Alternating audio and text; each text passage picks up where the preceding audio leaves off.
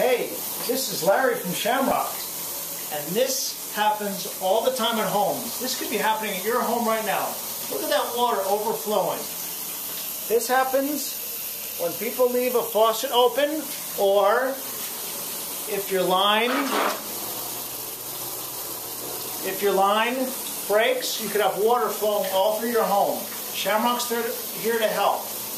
We are certified in handle water damage. We have the equipment, we have the know-how and the expertise. So we can help you out calmly and coolly if you get water flowing through your house. Just like here.